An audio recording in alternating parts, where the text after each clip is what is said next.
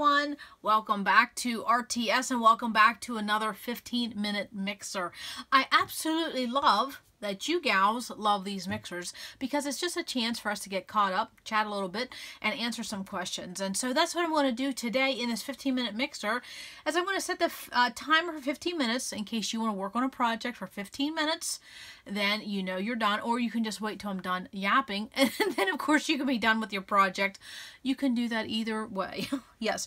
So the three questions, of course, let me get my timer started. Yes, start Yes, there we go. 15 minutes. Okay, so the one of the three questions I keep getting a lot lately has been how do I organize stickers in basically this size right here? Because I've been building kits and uh, showing layouts and things like that because, you know, I have done a lot talking about this channel about my sticker binders and my die cut binders and my uh, stickers and chipboard. yes. So, of course, I'll have the videos listed below where I chat more about that. But there are some stickers that just don't land in those binders because of one, I have too many, and two, I don't want every sticker I own into that binder. And why would that be? And it's simply because if I travel, I don't want to take a binder. Second of all, if I just need a finishing little touch, I have those little mini sticker binders that started the whole thing. And three, when I'm building kits or in a challenge or just working on a start to finish layout, sometimes I just rely on my 6x12 sticker sheets, okay? And it simply sometimes just comes down to the fact that I have a lot of stickers, and so they would not all fit in a binder. And I have said this several times lately that when it comes to organizing a product, you don't have to do it a one for all. Not every sticker you own has to be in this binder. Not every sticker you own has to be in that basket. And not every sticker you own has to be, you know, on your shelf over there to the right. It doesn't have to be that way. So you can organize your product and your supplies in the way you scrap. And for me, I need a little bit of everything because I scrap in a little bit of every way. I really do. I do a little bit of this, a little bit of that, because I don't want to get bored in this hobby. So that's why I do that. And then plus two, look how many 6 by 12 sticker sheets I have. okay. Now, before I started my sticker binder, this was the binder, or this was the, you know, the drawer that I had for my stickers, and for my 6 by 12 this worked perfect. But it did not work for my 12 by 12 and sometimes there's little stragglers, so that's why they ended up in a sticker a sticker binder. But for my 6 by 12 this is just a little binder. It goes in like a tiered uh, drawer system. I got Tuesday morning like 12 years ago, honestly. It's been a long time. And so this just fits 6 by 12 stickers I mean, perfectly. Sometimes I have to cut the uh, header off as who the manufacturer was, and that is why I have my 6x12s in here, and that's why when you see me pull kits together or certain start to finish, that's where they uh, that's where they from, this little drawer right here. And plus, since this is not a major big drawer, this is the allotted space I have for stickers. Of course, I have more room. I could get a lot more stickers in there. But I'm trying not to buy too many supplies this year. And so also what I keep in this is my photo corners. I have a whole stack of them. And I even have a bag of loose ones. My photo corners go right in the front. Now, I did recently get asked a question too, what do I do about sticker books? And truly for me, I only have one sticker book, maybe two of these, but I don't really have sticker books. But if I did, um, if I had a lot, I would think about, do you need to have them in a book form? You could tear them apart, put them which, you want them by color, do you want them by theme? You could do that. You don't have to keep it in a book form if it, you know, just because it comes in a book form. You don't have to keep it that way. But I only have one and I just put it in the front here. And you can see these ones in the front are simply just smaller ones. I have them by size. But once you get to about right here, this is all in alphabetical order by manufacturer. Now, over the years, I've changed this. At one time, this was by theme. I had Christmas and Valentine's and fall, and then there was some you didn't know where to put. So for me, what I do is that since I think of, I think of these uh, 6 by 12 sticker sheets by manufacturer. So that's what I do. I have them all by manufacturer. So there's Basic Gray, Bella Boulevard, Crate Paper, uh, more Crate Paper, Crate Paper, Dollar Tree, Doodlebug, Echo Park, Jillibean, Jilly Bean, Jillibean, Jilly Bean, uh, and then Lily Bee, My Mind's Eye, there went something flying. And then also two pebbles, and then I have all kinds of simple stories in there. and then Teresa Collins, and then We Are Memory Keepers, and I think that's where it ends. So those are all in alphabetical order, but that is just simply what that is. They sit in there so easy, and then I just flip. I mean, it's all about access when it comes to this drawer uh, because that's what I, I want quick access to these. Uh, so I don't all have, I don't have every sticker I own in those sticker binders. So I wanted to show that. I've gotten a lot of questions about that lately. And then also too, right there's my photo corners, easy peasy lemon squeezy. And you can see I can bring this whole drawer to my desk if I need be, but I just simply pull it out and I reach what I want. Again, these are my manufacturers, easy to reach into because I know what I have. I don't know how I do that. I can just remember what I have. And so again, that's how I do those sticker sheets that you see in my kits and things like that. So now let's talk about inspiration. Uh, we've been talking about that lately in our summer space shape up and then also too I had a start to finish layout uh, talking about these two pages right here. Okay, so I will move this hefty little drawer here because that takes a little bit of power. And you know I got to put that on the floor. Yes. Okay, so in this recent start to finish, I had talked about scrap looking, scrap lifting yourself. And then if there's just a page you really, really like, whether you do it or someone else does it, there's nothing wrong with taking a picture so you have it for inspiration. So I had said that I would share what uh, some inspiration that I did before pre uh, Pinterest days. so I wanted to show that. Yes, because, you know, I took a photo of this. So where do I keep a photo of that so I can be reminded to scrap lift because I don't keep this out and about you know all the time. I have to put it away in my album eventually okay? So that's what I have. As I simply have a photo box. Now mind you this has been years in the making and this was before uh, Pinterest days okay? And let's see it was also before Instagram you know what I'm talking about? It was before social media. So if you wanted to have a picture of your favorite design or something, you know, you had to create it yourself. So that's what this entire box is. It is photos of layouts that I have uh, liked over the years. And they are by Nicole McGorrick, Nicole McGorrick Sport, or Laura Vegas, or Jen Gallacher. Uh, who else? I'm trying to think. Becky Fleck you know, uh, all the gals at Jillibean Soup, things like that. A lot of them. Some of these I absolutely have. Allison Davis, I have a whole chunk that's nothing but Allison Davis. Absolutely. And I think that's what these orange markers were at one time. Yeah, see, this is all Allison Davis right here. yeah, big fan of her work. And then, of course, these were just images that I got from designer.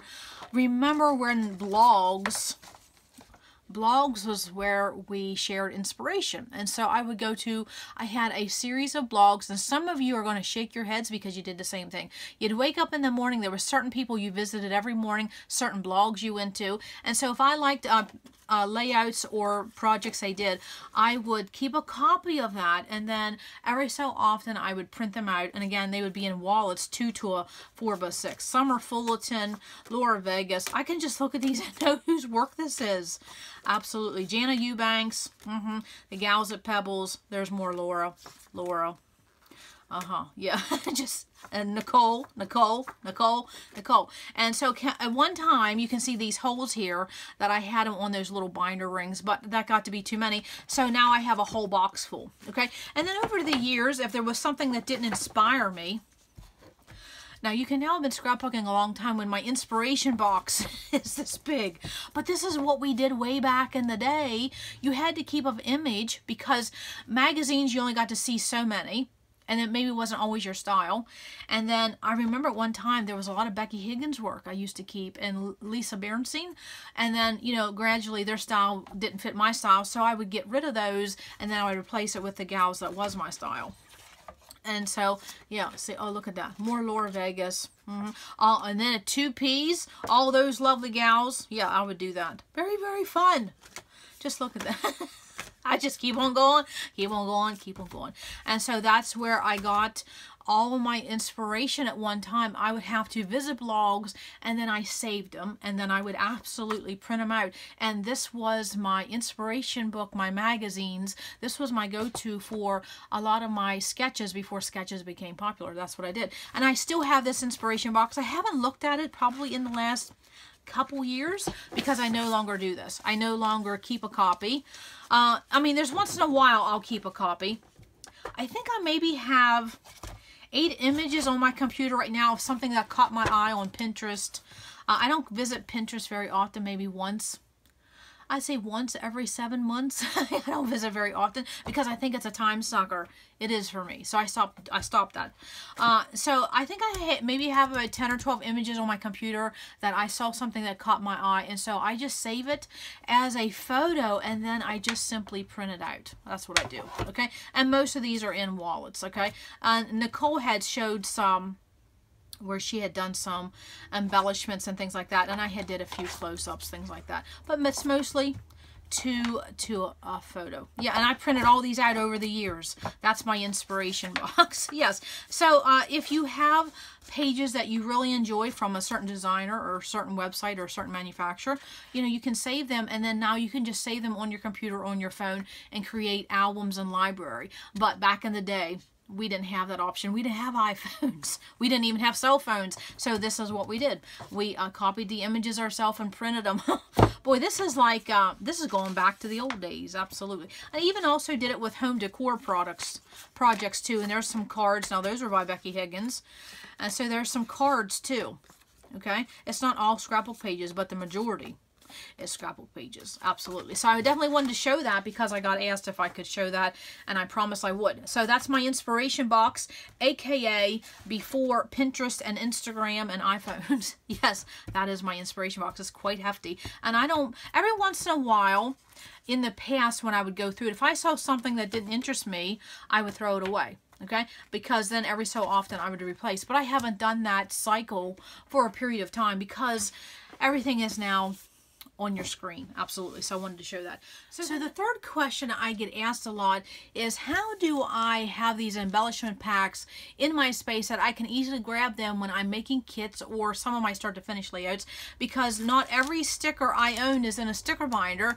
So where do I have these and how do I have these? I get asked that a lot and it's so simple. You're going to laugh at how simple it is, but I got this idea from my favorite YouTube gal, Nicole Mackin, and so I will I will show you that. And so this is how you can organize embellishment packs okay?